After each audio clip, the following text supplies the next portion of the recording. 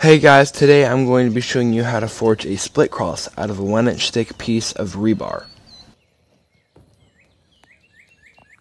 When you pick up your piece of rebar, you're going to notice these notches. You're going to count back 6 notches on your piece of rebar, and that's where we're going to make our first cut. We're going to have to make several cuts on this piece of rebar to complete this build.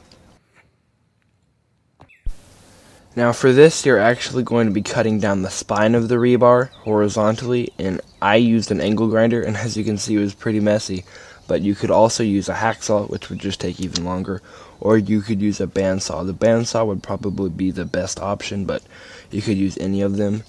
And the next thing we're going to do is we're going to count up three notches from our first mark, and we're going to put another mark, and we're going to cut it off into where our other cut was.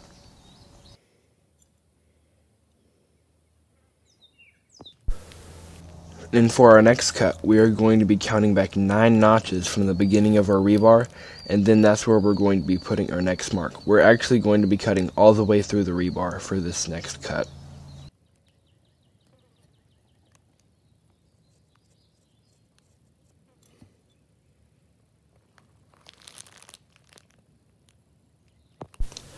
And for our last cut, this is where things can get tricky we are going to go back from where we just last cut our rebar and we're going to be cutting an intersection all the way down past through where our last cut was but we're going to be cutting in a different direction. But we want to have about a one inch gap of intersection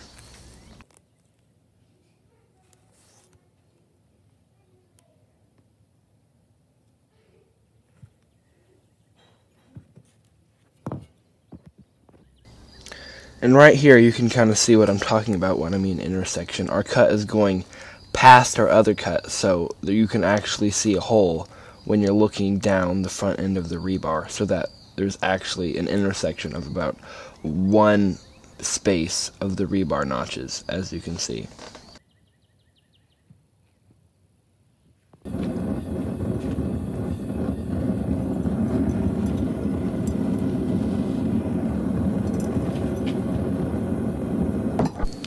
Now we are going to be splitting open the cuts that we made in our cross.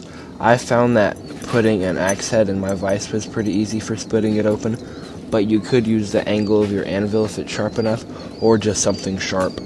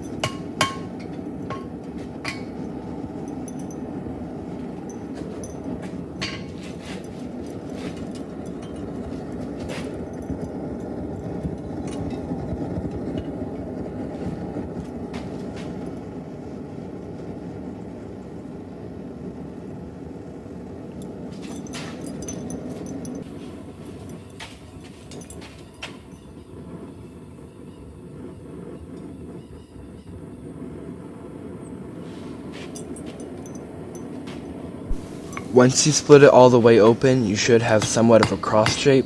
Now I'm just putting quick bevels on all the points. I just think it looks better, but you do not have to do this step.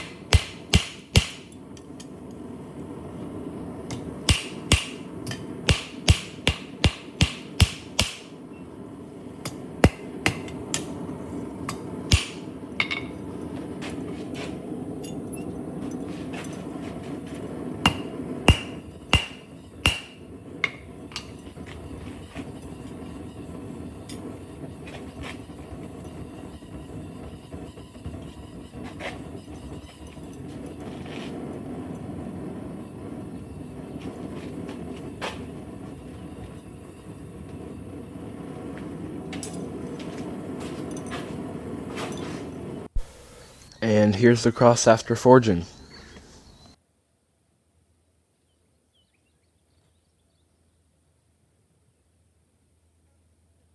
Now what I'm going to do is I'm just going to go over the whole cross with a wire wheel on an angle grinder just to kind of make it look pretty.